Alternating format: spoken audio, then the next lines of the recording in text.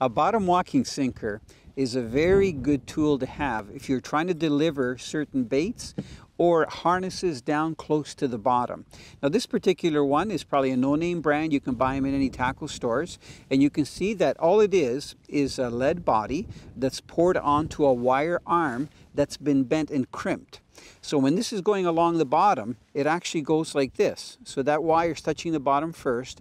As long as you keep tension on it, if you let it go slack, it'll fall down to the bottom, the whole thing, and it can get caught up. But normally they call them bottom walking because if you're moving with the wind or you're back trolling like we were, or trolling in forward, the only thing that touches the bottom is this wire and it flexes even if you hit rocks. And behind that, of course, you put on your harness or if you're using a bait rig, just a straight uh, fluorocarbon leader or monofilament with a hook or maybe some kind of a floater device. And then, of course, this is where you attach it onto your line.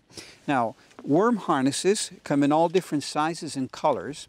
These are some of the ones that we were using. They're made by Lucky Strike. And what I like about them is that they come on fluorocarbon leaders. And if they're in heavy enough weight, like 10 or 12 pound test, they're very abrasive resistance. So it doesn't matter even if you hit rocks that have zebra mussels on there or you're bouncing on some of the rocks along the bottom, you're not going to nick the fluorocarbon.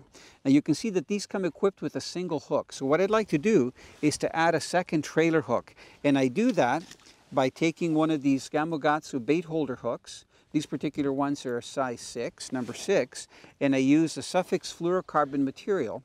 And I used 12 pound test. Some of you may think that that's a little bit heavy, but I like the sturdiness of the 12 pound because it keeps the stinger hook straight down from the first hook.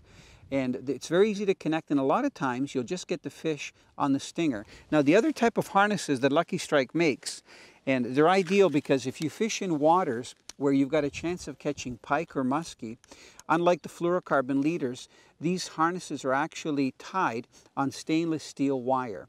So the fish don't really see it, doesn't take the action away, but if you do get a big pike over 10 pounds or a large muskie when you're fishing for walleye in shallower water, they're not going to cut through the line. So whether you use the fluorocarbon leader or these that are tied on stainless steel, worm harnesses are one of the most versatile and productive artificials that you can use with worms, especially for walleye.